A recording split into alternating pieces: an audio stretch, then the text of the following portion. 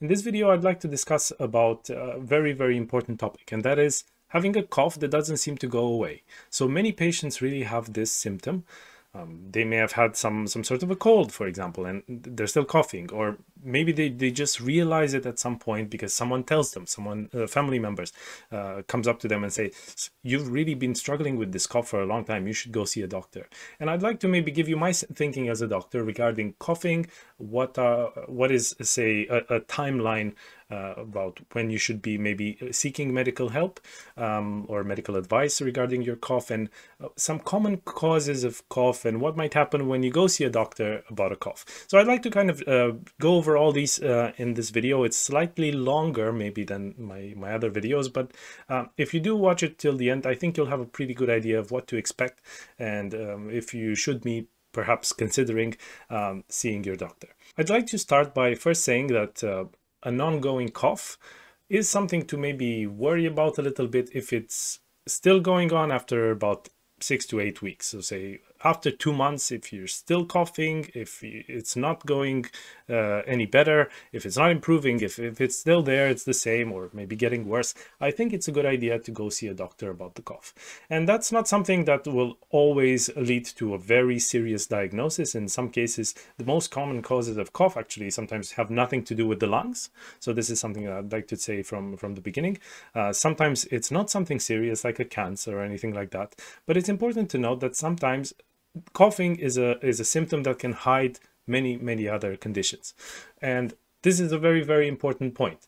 Coughing is a symptom. It's not a disease in itself. So many patients uh, come to come to the doctor generally asking um, doc can you give me something for for my cough? And actually that's something very hard to do from the beginning. And i think that's not necessarily the right the right approach unless we know what the cause of the cough is. So it's really important to know what the cause is. It's it's probably the main thing because if we treat the cause, we can get rid of the cough and maybe there's no other treatment required for it. So there are certain medications that block a cough, but that's not always the right approach because sometimes, for example, if you have a productive cough, if you're if you're clearing your chest of secretions, and if we give you something like codeine, for example, or, or um, some other some other treatment really for a cough, and we're blocking uh, your reflex to, to clear those secretions, they may actually build up and an infection can occur or you might actually start to feel worse. So it's really, really important to see your doctor and develop some sort of a strategy on how to deal with your cough. Say you've had a cough for six to eight weeks, it's not improving, um, you want to see a doctor. What might happen if you see a doctor about your cough? I think it's really important if you go see your doctor to have maybe your medical history somewhere handy, especially if the, you've never seen that doctor before in your life, and to maybe have a list of the medications that you're taking. If you can bring those to your consultation, that would be really, really helpful because the doctor can then sometimes pick out some causes for your cough even from, from the list of things that you bring. It's not always the case, but it can help a lot. It can make the, the consultation move a, a lot faster and be a bit more precise and maybe start things um, faster for you and uh, try to, to develop this sort of diagnostic strategy faster so that you don't waste time basically trying to reach a diagnosis because this can take time sometimes. So you may have to see your doctor a number of times before you can get to the bottom of things. The other thing is that your doctor may request for example a chest x-ray. So this is a simple picture of your lungs that is generally used to see whether there's anything obviously wrong in your lungs or if there's anything uh, for example heart related. So this these are uh, things uh, clues that your doctor can pick up of a chest x-ray. Now if your chest x-ray is absolutely normal then obviously this leads the doctor down a different sort of algorithm to to diagnose the cough. You might uh, get a physical exam so they may listen to your chest.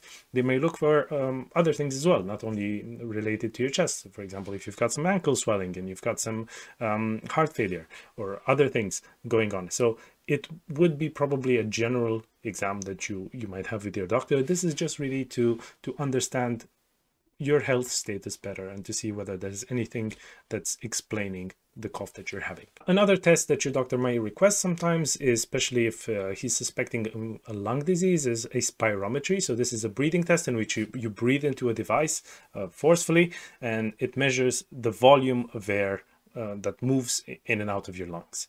And that can sometimes give us an indication whether you're suffering from conditions like COPD or asthma, especially uh, if you have a medical history that is compatible with that. So it's not usually just a spirometry. All these tests, they go into some sort of a, um, a box of clues, let's say. And then based on all the information that your doctor gathers, they can come up with a diagnosis that's closest to, to what it's really going on.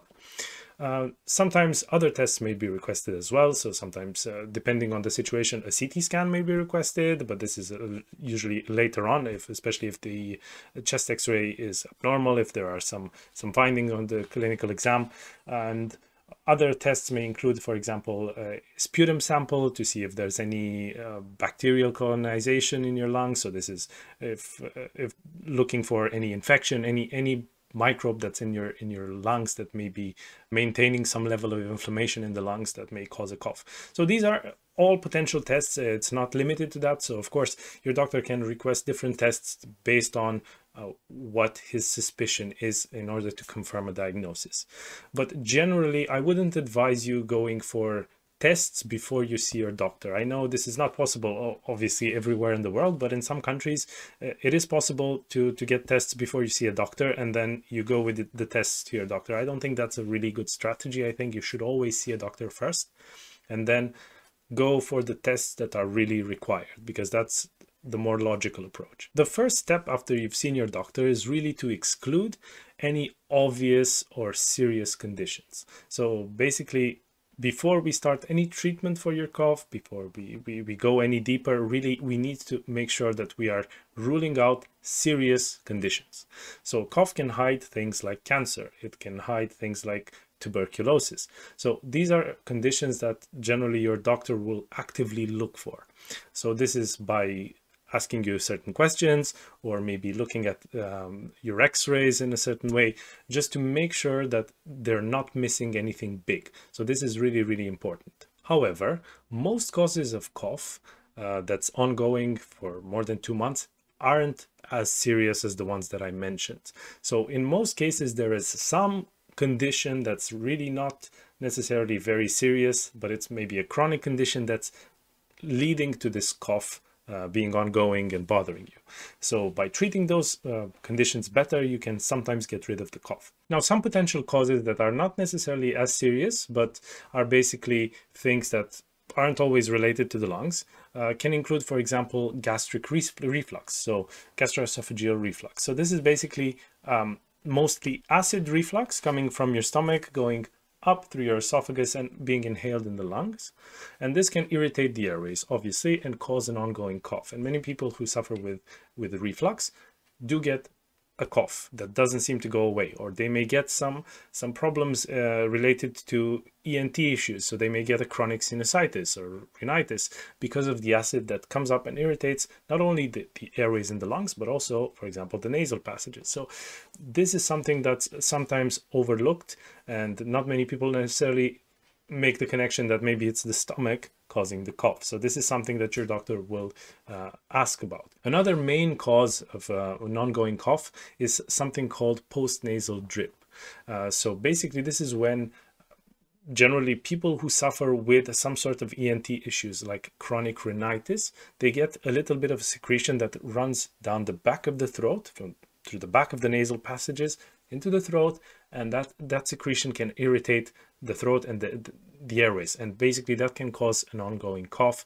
It's sometimes associated with a feeling of always feeling like you need to clear your throat. So so postnasal drip is a very very common common issue. Sometimes people may have that drip without actually having any secretions coming out through the front of their nose. So this is something that it's important to discuss with your doctor to see if if uh, a trial of a medication for example a nasal spray may help with uh, with relieving these symptoms. Another frequent cause of an ongoing cough is asthma. So asthma can sometimes present without uh, the typical symptoms of wheeze and um, uh, tightness in your chest. So sometimes people can have asthma that is basically only with cough So it's a cough variant asthma. This is how it's called. This is sometimes possible. So in these cases, usually a spirometry will help uh, define the diagnosis better, or maybe a trial of asthma medication will solve the, the coughing. A fourth major cause of uh, an ongoing cough that is sometimes overlooked is really certain blood pressure medications for, which are called ACE inhibitors can have as a, as a potential side effect um, the development of an ongoing cough. It's something that's very well known if you actually make the connection and you tell your doctor that you're on the medication because depending on who you see, you, they may not know you're on this medication. So do bring it up. ACE inhibitors are medications that are taken usually for blood pressure or sometimes for kidney disease or heart failure. So they always end in pril. So things like enalapril, perindopril, ramipril, these are all ACE inhibitors. And usually when you're on one, one of these medications, you can be switched to a different alternative medication and the cough usually goes away within weeks, months. But of course, I wouldn't recommend making any changes to your medications unless you see your doctor and determine that that is the cause. But I just wanted to give you a couple of examples to see that there are a number of causes for coughing that sometimes aren't necessarily very strictly related to the lungs. Maybe asthma is, of course, but it's important to consider that it's a symptom of many things. And it's quite important to find out the cause of the cough because you may be able to actually treat the cause and get rid of the cough. Now, if there isn't anything obviously wrong, sometimes some people unfortunately have a hypersensitivity of the nerves that actually trigger the cough reflex. And that's something that's a diagnosis of exclusion really, because you need to rule out all the things that I've said before and many maybe some other conditions. And this hypersensitivity is usually quite difficult to treat, but it's important to only start treatments for the cough if all the, the other potential causes have been excluded. So how do we treat cough? This is basically where we come up to the solution. So I would say there are three potential strategies that we would consider. The first one is to treat the cause. The second one is to give some trial treatments. And the third one is to actually just treat the cough as a symptom. But that's the worst possible scenario. So the first scenario is to treat the cause. So in this case, for example, if you're suffering with asthma, we would treat the asthma. We, we, would get an inhaler and that will control the asthma and control the cough. Or for example, if you're suffering with acid reflux, you might receive some anti-acid treatment and that controls the reflux and the cough. So these are examples where we know that the cause is there and we treat it. The second strategy is basically to give a trial treatment. So for example, sometimes we can't really pinpoint the exact cause, but we haven't really found anything very serious. So we're going to go and treat probabilistically. So for example, if we think that the patient may be suffering with postnasal drip, we may prescribe a nasal spray for a month or two and see if that improves the cough. And sometimes that's the case. And then we know, oh, that was the, the cause. Or if that doesn't work, we may move on to something else. For example, we're not sure if the patient has acid reflux because sometimes it's very hard to prove. So we would give some anti-acid medication for about a month. And if that resolves the cough, well, that was the, the cause. And the third strategy is to basically treat the cough as a symptom. But this is where we need to be really, really vigilant. So we need to maybe get treatment for the cough as a symptom, but always bear in mind that there may be some potential cause that will turn up in the future. So it's always important if you are receiving treatment with cough suppressing medication to visit your doctor regularly. And in this case, cough suppressant medication is usually based on opioid treatment. So this is something that's quite important to know because these can have side effects as well. And it's also important to know that if you are suffering with a productive cough, so if you are uh, spitting out phlegm, for example, it's a very bad idea to get cough suppressant medications. So in those scenarios, it's really important to work with your doctor to find ways to clear the secretions first and to treat whatever is causing the secretions as much as possible uh, because blocking the reflex of cough when you have lungs filled with secretions will not help and it will actually make these secretions pool into your lungs. So this is a really, really important thing to keep in mind. And like I said, if you are receiving cough suppressants, to treat a cough, you're taking cough syrups, you're taking codeine, etc. For, for your cough, but you don't know what the cause is, it's important to keep visiting your doctor regularly to make sure that there isn't anything big that you are missing. I hope this video was relatively clear and it helped you understand a little bit better how a doctor might think about treating your cough.